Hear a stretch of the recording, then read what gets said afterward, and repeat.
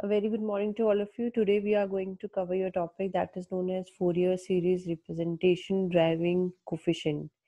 In my previous video, we covered the Fourier series representation, but in this one we are going to cover the coefficient value.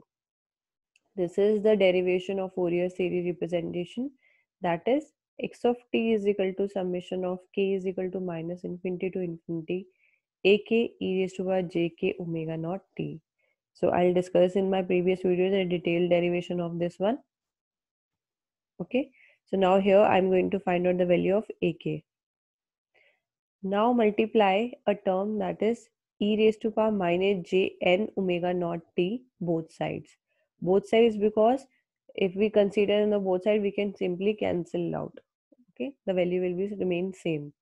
So by multiplying it both side x of t e raised to power minus j n omega naught t will be equal to summation of k is equal to minus infinity to infinity.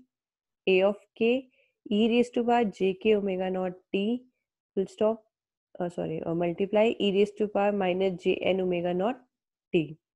So by modifying this equation and in my right hand side by resolving it a little more bases the same powers are added. So mathematically in simple terms we can write it as e raised to power k minus infinity to infinity a of k e raised to power j. Okay this is for your imaginary function. K minus n omega naught t. We can simply write it like this one. Now in my next step we can integrate 0 to t both side. Again i'm considering a both side. If you want to cancel it out you can easily cancel it out.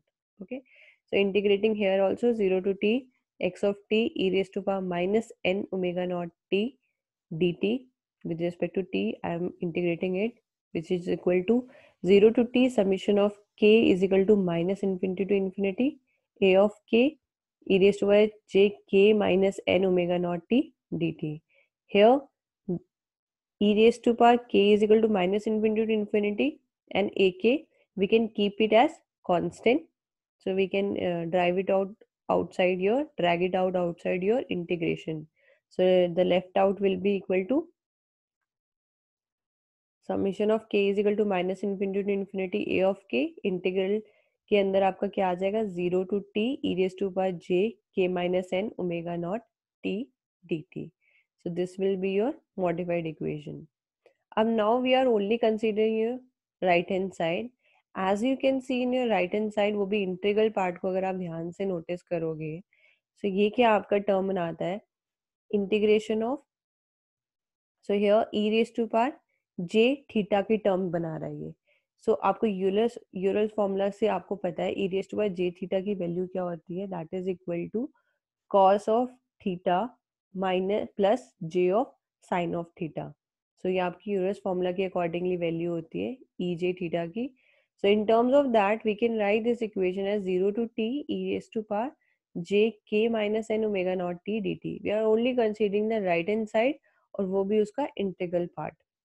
We can write it as 0 to t cos of k minus n omega naught t dt plus j of 0 to t sin of k minus n omega naught t dt. Okay. इस bracket को हमने open करके लिख लिया in terms of Euler's formula now if we consider the value of k is equal to n suppose okay if we considering the value of k is equal to n what will we gonna got cos of 0 n minus n will be 0 sine of n minus 1 is equal to 0 so sine of 0 omega not t d t क्या हो जाएगा आपका ये full term आपकी क्या हो जाएगी zero क्योंकि साइन ज़ीरो क्या होता है ज़ीरो नेक्स्ट गया आपका ये टर्म ये क्या हो जाएगा cos zero n minus n zero तो कॉस ज़ीरो क्या होता है? वन। तो इंटीग्रेशन में क्या रह जाएगा? Zero to t one into d t so d t की इंटीग्रेशन क्या होती है? T so your this value will be t when k is equal to n okay so your value जब भी आप के की वैल्यू एन लोगे तो आपकी इसकी वैल्यू क्या आ जाएगी? टी के इक्वल आ जाएगी। लेकिन अगर आप अदर देन कि अदर देन योर एन की वैल्यू कोई और आप वैल्यू कंसीडर करते हो तो इसकी वैल्यू क्या हो जाती है? ज़ीरो ठीक है? सपोज़ आप लेट कर लो, आपने इसमें आपने जो भी वैल्यू कंसीडर की है, ये 180 की टर्म्स में आपने ले लिया अपनी। ठीक है? आपने यहाँ पे के की जगह आपने 180 सब्सिट्यूट कर दिया सपोज़ ठीक है? So one eighty minus n क्या हो जाएगा? क्योंकि आपका जो साइन है, सिर्फ़ फ़र्स्ट क्वाड्रेंट में आपका पॉजिटिव होता है। रेस्ट में आपका नेगेटिव हो जाता है तो आपका ये क्या हो जाएगा? माइनस साइन की टर्म्स में आ जाएगा। तो so, जो भी आपका आंसर आएगा ये माइनस में आ जाएगा ये प्लस में आ जाएगा। दोनों की वैल्यूज़ बराबर आएँगी। तो ये क्या हो जाएगा? आपका कैंसिल आउट होता जाएगा हर टर्म में जब भी आप इसको इंटीग्रेट करोगे जो भी सोल्यूशन आप निकालते जाओगे इसका। तो अदर देन ज़ीरो कि हमेशा वैल्यू अगर other than k equal to n आपकी वैल्यू क्या आएगी? Zero so overall value check करेंगे हम इसकी now substituting here again in this value so 0 to t x of t e raised to power minus j n omega naught t dt is equal to, क्या हो जाएगा? Summation k is equal to minus infinity to infinity a of k t. तो ये a of k t के equal आ जाएगा। हम इसको इस तरह से रिप्रेजेंट कर सकते हैं। ठीक है? डायरेक्टली सब्सटीट्यूशन के बाद we can directly substitute here like this a of n t की टर्म्स में। बट व्हाट हैपन यहाँ से आपको ए ऑफ़ एन सिर्फ़ कोफिशन की वैल्यू लेनी है तो ये टी को क्या ले जाओगे? नेक्स्ट टर्म में आप डिनोमिनेटर में ले जाओगे तो one by t zero to t x of t e raise to power minus j n omega not t d t की टर्म्स में आपका ये सोल्यूशन आ गया।